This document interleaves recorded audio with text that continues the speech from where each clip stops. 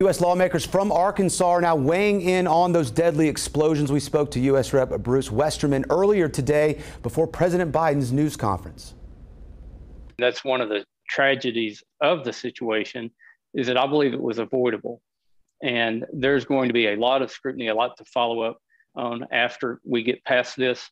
But right now, I think we need to focus on uh, keeping our troops in our prayers, keeping American citizens in our prayers, getting them out of Afghanistan, and then we'll clean up the mess after that.